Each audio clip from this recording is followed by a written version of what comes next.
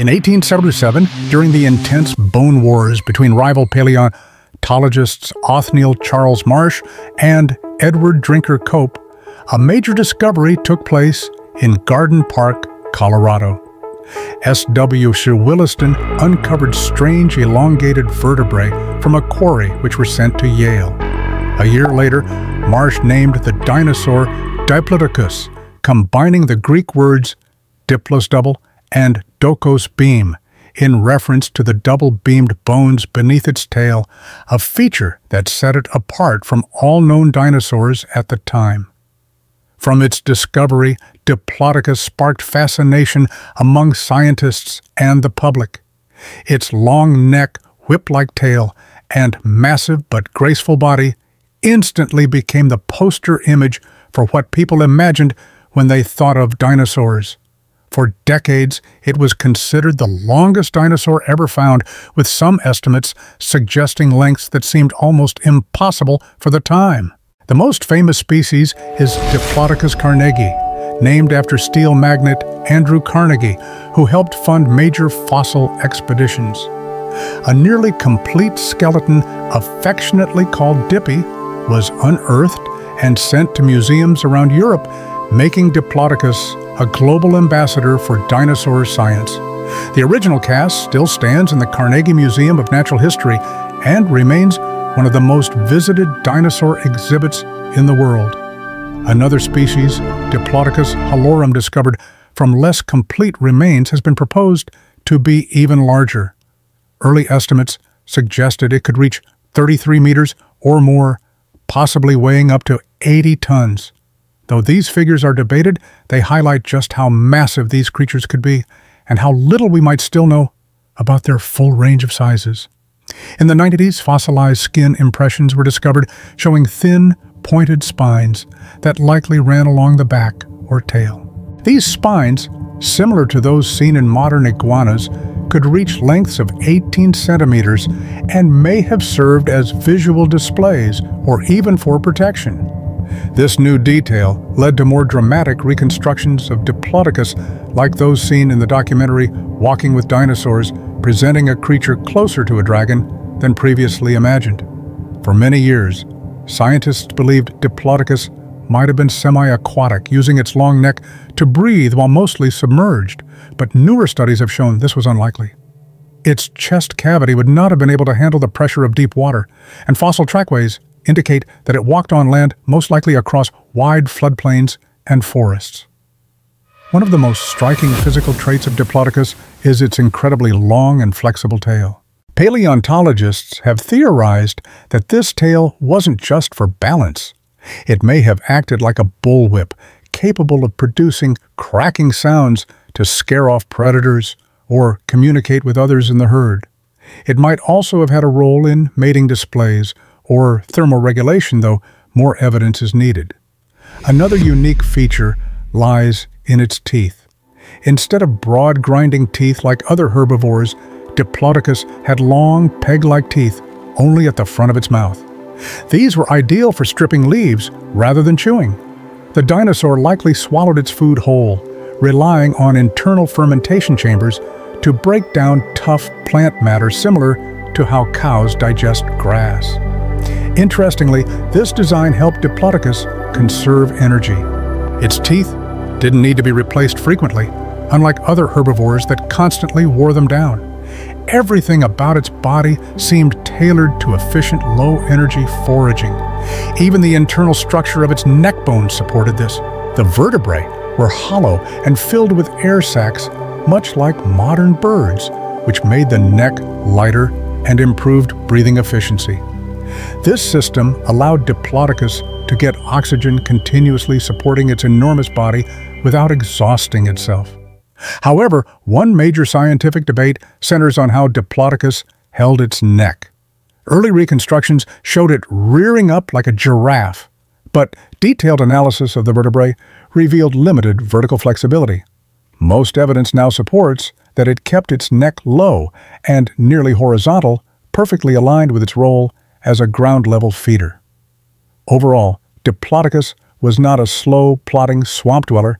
It was a highly specialized, land-based giant. Its anatomy, from its whip-like tail to its energy-efficient neck and diet, paints a picture of an animal perfectly suited to its environment. This ancient giant didn't just survive, it thrived, and its fossil legacy continues to fuel the imagination of scientists and dinosaur lovers around the world. The more scientists examined Diplodocus, the more they uncovered details that reshaped how this dinosaur lived and moved. One of the most debated aspects is the posture and function of its neck. For decades, paleontologists assumed that Diplodocus, like a giraffe, could lift its head high into the air to feed from tall trees. However, further studies of its cervical vertebrae showed that the neck had limited flexibility in the vertical direction. Instead of rising high, it likely extended outward almost parallel to the ground. This finding dramatically changed assumptions about Diplodocus's feeding behavior. Rather than browsing treetops, it was more likely a low-level feeder, stripping soft vegetation like ferns and horsetails close to the ground. Its long neck would have allowed it to cover a wide feeding area without needing to move its entire body, a major advantage when dealing with a huge frame. Supporting this feeding strategy was a powerful nuchal ligament, a strong band of tissue running along the neck which helped hold up its head without constant muscle effort. This structure is also seen in large mammals like horses and cows, and it would have allowed Diplodocus to conserve energy. Further aiding its biology, the vertebrae in its neck were not solid. They were filled with air sacs that made the neck lighter and connected to the lungs, allowing a bird-like respiratory system with unidirectional airflow. This efficient breathing would have been crucial for such a massive animal. Another point of fascination was its circulatory system. In the early 1990s, researchers calculated that if Diplodocus held its head upright, it would need a heart over 1.5 tons in weight just to pump blood to its brain. Such a heart would have been biologically impossible. This gave further support to the idea that Diplodocus kept its head and neck low, reducing strain on its cardiovascular system and enabling more efficient energy use. Many early reconstructions also portrayed Diplodocus as a semi-aquatic animal living in swamps and using its nostrils to breathe while submerged. But this image has since been debunked. Its enormous body would have been crushed by water pressure, making underwater breathing impossible. Additionally, fossilized footprints and sediment analysis prove that Diplodocus lived on dry land, moving across floodplains and woodland areas. Its long tail remains one of its most mysterious and multifunctional features. Some paleontologists believe it could have been used as a sonic weapon, cracking through the air like a bullwhip to scare predators or signal herd members. Others speculate that the tail played a role in thermoregulation social displays or mating behavior. Regardless of the exact function its tail gave Diplodocus both a visual edge and possible defense tools in a dangerous world. Another anatomical curiosity lies in its unique dental structure. Unlike other sauropods with broader teeth for grinding, Diplodocus had narrow pencil-like teeth only at the front of its mouth. These teeth were ideal for raking soft plants off branches. There was no evidence of chewing. Instead, food was likely swallowed whole and digested later through fermentation in large gut chambers, much like cows digest grass with the help of microbes. This feeding method meant Diplodocus didn't need to spend energy constantly replacing worn-out teeth. While some herbivores, like hadrosaurs, cycled through hundreds of teeth during their lifetimes, Diplodocus kept things simpler. Its teeth wore down slowly and efficiently in harmony with its slow, methodical eating habits. Some researchers also explored how its neck might have moved during moments of alertness or communication. A 2009 study proposed that Diplodocus could slightly lift its neck to scan surroundings or interact with other members of its group. Though its bones limited extreme movement, soft tissue might have allowed greater flexibility than previously assumed. This adds a layer of behavioral complexity to what was once thought to be a slow, unintelligent giant. All of these discoveries reshape how we view Diplodocus. It wasn't just big, it was brilliantly adapted. Its anatomy tells a story of efficiency, a creature that mastered its environment not through strength or speed, but by being finely tuned to its niche. The lightweight structure, efficient respiration-tailored diet, and energy-saving design all point to a dinosaur that was built for endurance and survival. Rather than an outdated relic lumbering through swamps, Diplodocus now emerges as a highly specialized land giant capable of thriving in the challenging ecosystems of the late Jurassic. Every new fossil and study continues to refine our understanding, showing that there's much more to this dinosaur than just its size. Diplodocus wasn't just an anatomical marvel, it was also a dominant member of the late Jurassic world, belonging to the family Diplodocidae. It represented a group of long-necked, long-tailed, and relatively lightweight sauropods. Unlike the towering, deep-chested Brachiosaurus or the colossal Argentinosaurus diplodocus, thrived by being long, low, and built for balance and efficiency. Its closest relatives included genera like Barosaurus, Kaatedocus, and Galeamopus, which shared similar body structures. Together, these dinosaurs made up the subfamily Diplodocinae, while other sauropods like Apatosaurus and Brontosaurus were grouped under Apatosaurinae. Fossils of these animals have been found across North America, Portugal, and Africa, evidence of their wide distribution and evolutionary success during the Jurassic period. Most notably, Diplodocus is associated with the Morrison Formation, a fossil-rich layer of rock that stretches across the western United States. This formation, dating back 47 to 156 million years, preserves one of the most complete records of Jurassic ecosystems on Earth. Within it, Diplodocus shared its environment with a wide array of dinosaurs, including Stegosaurus, Camarasaurus, Allosaurus, and Ceratosaurus, along with flying reptiles, amphibians, and early mammals. In such a diverse and competitive ecosystem, survival depended on specialization. While Brachiosaurus reached upward to browse from tall trees, Diplodocus adapted to feed at ground level. Its long, laterally flexible neck allowed it to graze over a wide area without moving, reducing energy use and minimizing competition for food. This ecological separation, known as niche partitioning, allowed multiple giant herbivores to coexist peacefully. Despite its size, Diplodocus wasn't invincible.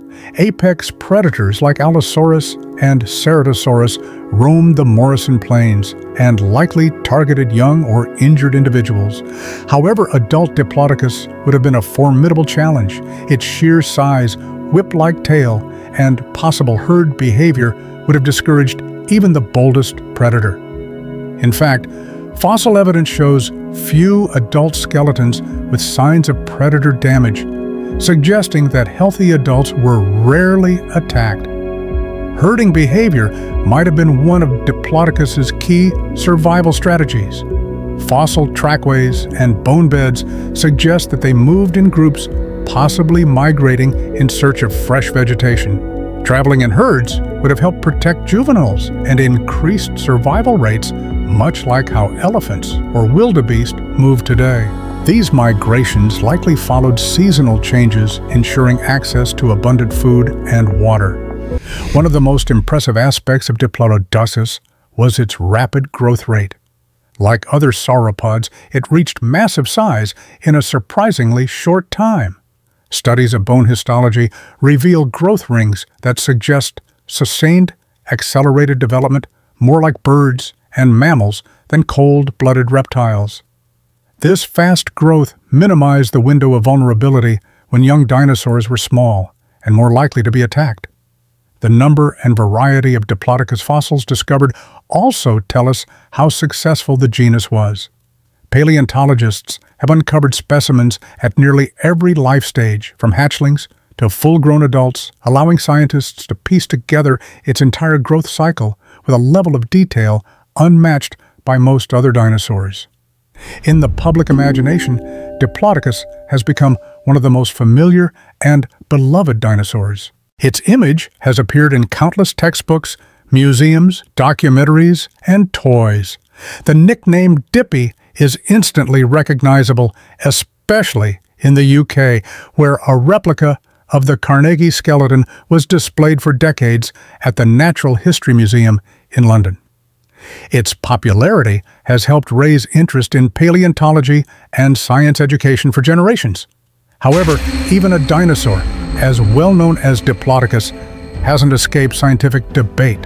Over the years, paleontologists have argued over how many valid species exist within the genus. For instance, D. hayi was eventually reassigned to a separate genus, Galeamopus, after closer anatomical analysis. Meanwhile, the original species D. longus was labeled a nomen dubium due to fragmentary remains. A petition to reassign the type species to D. carnegii, which has a complete skeleton, was submitted to the International Commission on Zoological Nomenclature, but was ultimately rejected. These classification challenges are a reminder that paleontology is an ever-evolving science.